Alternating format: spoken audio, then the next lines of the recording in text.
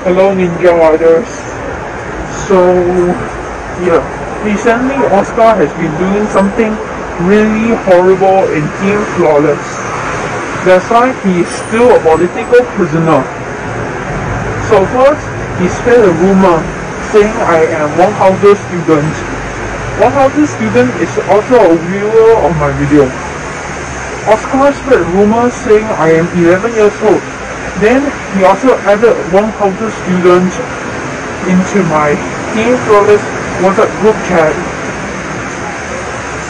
That one Hauser student said that he wanted subscribers and then Oscar was very rude to him.